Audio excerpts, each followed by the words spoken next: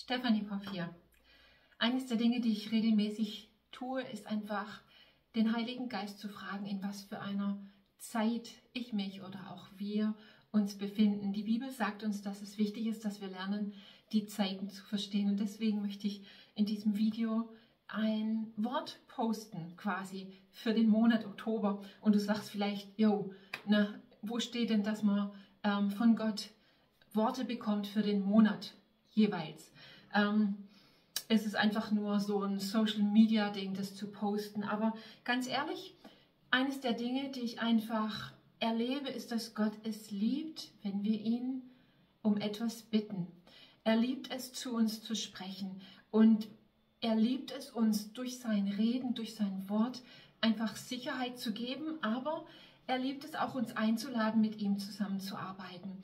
Und tatsächlich erlebe ich das immer wieder so, dass Gott mir auch für den jeweils aktuellen Monat mir ähm, ein Reden schenkt, damit ich mit ihm zusammenarbeiten kann. Und ich erlebe das selber ähm, als sehr powerful. Ja, es gibt meinem Leben irgendwie Stabilität, aber so nutze ich auch ganz konkret jede Woche jeden Monat, um mit Gott vorwärts zu gehen. Okay, und deswegen auch dieses Video, ein Video für den Oktober, wenn du denn so willst. Okay, was ich von Gott gehört habe, war, dass dies eine Zeit ist, der in Übereinstimmung kommen und ähm, des sich Entfaltens. Ja, im Englischen heißt es Alignment and Unfolding. Ähm, was bedeutet das? Zu was lädt uns Gott hier ein?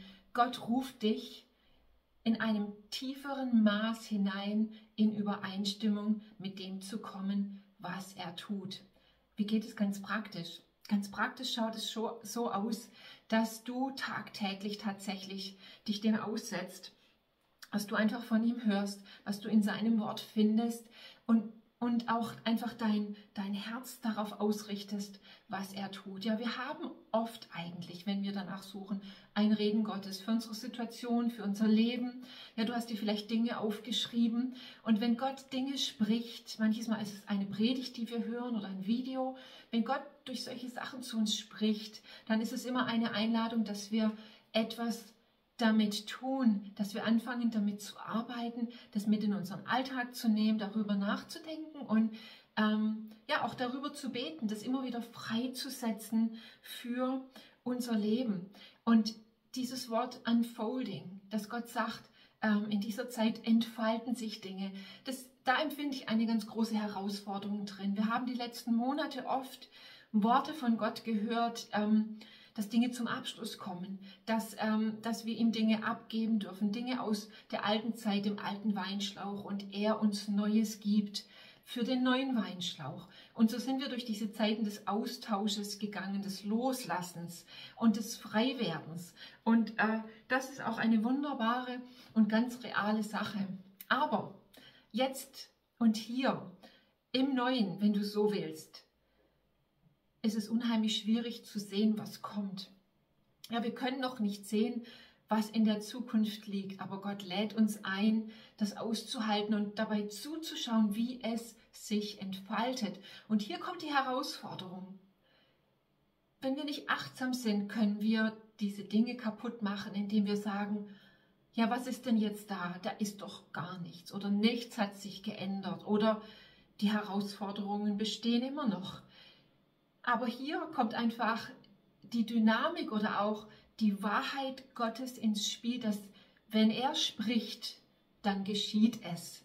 Aber zuallererst ähm, entfaltet sich das in der geistlichen Dimension unseres Lebens und durch unseren Glaube, durch unser Vertrauen, durch das, was wir damit tun, ähm, entfaltet es sich hinein auch in das sichtbare Leben. Und das kannst du auf dein eigenes Leben beziehen oder auch global gesprochen, ja, auf, auf ein Land bezogen.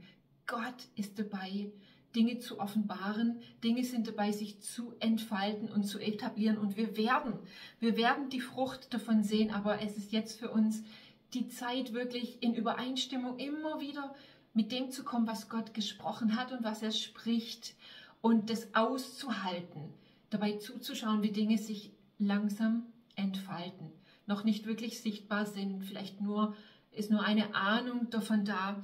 Aber das ist das, wo der Heilige Geist dich hineinruft. Und eine andere Sache ist mir so ganz wichtig geworden vom Heiligen Geist, ist dieses, diese Bibelstelle aus Lukas 19, ähm, wo Jesus ein Gleichnis erzählt. Er spricht zu den Leuten, wo er genau merkt, Mensch, äh, die haben verstanden, da ist etwas in Gange. Ja, der König kommt. Es geht um das Königreich Gottes und um diese Erwartung, dass jetzt etwas geschieht. Und er spricht zu ihnen in einem Gleichnis, in dem er Dinge austeilt. Und er sagt dann diesen einen Vers, den ich so prägnant finde.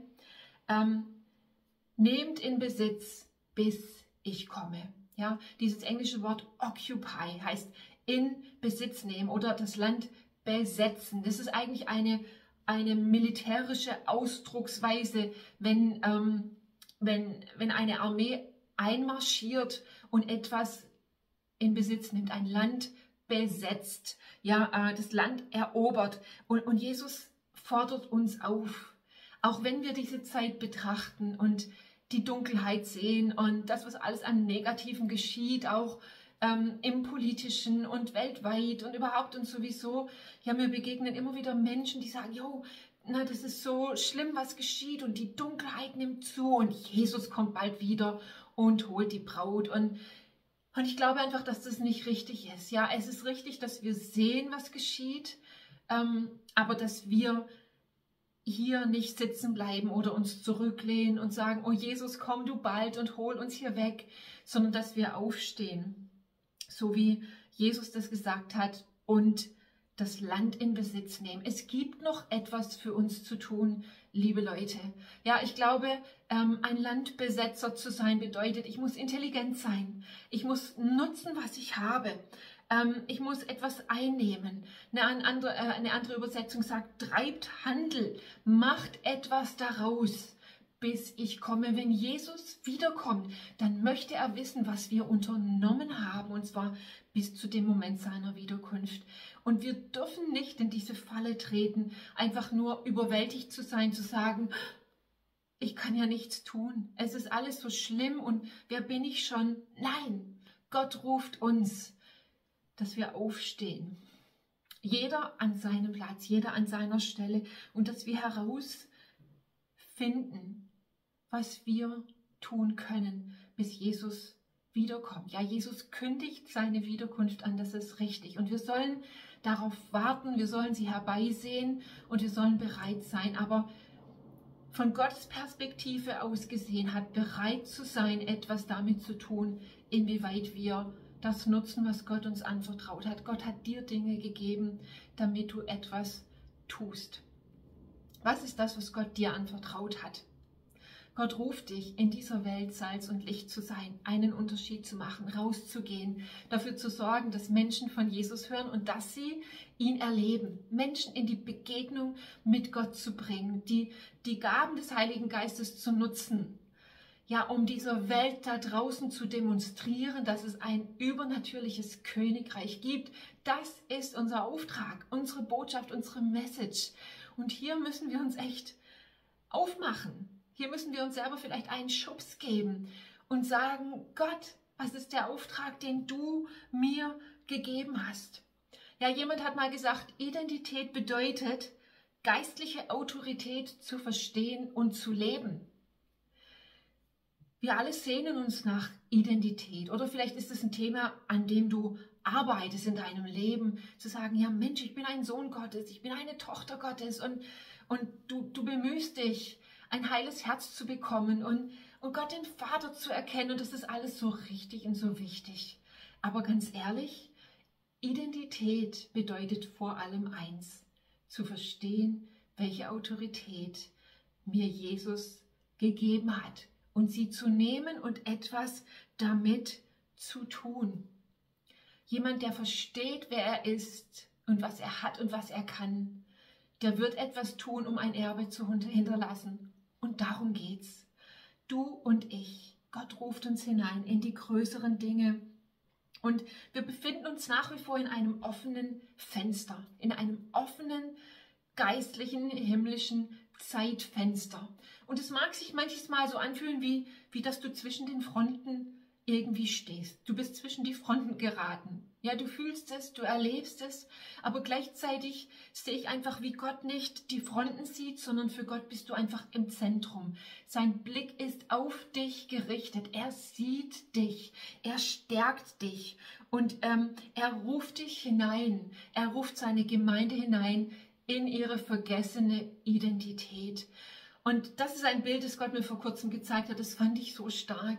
Wenn Gott die Gemeinde ansieht, die Gemeinde Jesu, dann schaut er auf einen Riesen, der im Moment noch zusammengekauert auf dem Boden liegt. Ja, der Feind hat die Gemeinde Jesu in den letzten Jahrhunderten in vielerlei Art und Weise gewissermaßen in die, in die Knie gezwungen. Aber das ändert nichts an der Tatsache, dass die Gemeinde Jesu ein Riese ist. Und Gott ruft seine Gemeinde hinein in diese Bestimmung. Gott ruft dem Riesen zu, sich endlich zu erheben, zu erwachen, seinen Platz einzunehmen. Und dieser Riese, er wird gewaltig sein und er wird den Feind das Fürchten lehren. Die Gemeinde ist nicht schwach und kraftlos. Sie muss hineinfinden in ihre vergessene Identität, sich erheben, hineintreten in das, was Gott bereits für sie bereitgestellt hat. Und dann, dann geht es nicht nur rund, sondern dann, dann werden wir diese Welt bereit machen für die Wiederkunft von Jesus. Das sind wir noch nicht. Aber die Zeit drängt und die Zeit ist jetzt. Und das ist etwas, was Gott einfach hineinspricht in diesen Monat, in diese Zeit und mit Sicherheit auch darüber hinaus. Und du kannst dieses Wort nehmen im Detail und anfangen damit zu arbeiten, für dich selber, dich hineinzuversetzen in dieses Bild und anzufangen, ähm, Dinge über dir zu prophezeien, ins Leben zu rufen und loszugehen. Der Heilige Geist ist mit dir. Er liebt es, wenn du ihn beim Wort nimmst und er tut es. Er bringt das in dir hervor. Und ich bete an dieser Stelle wirklich, dass Gott dir einen tiefen Hunger schenkt. Danach wirklich in Identität und Autorität endlich aufzustehen und dein Land in Besitz zu nehmen. Ich segne dich damit. Bis denn.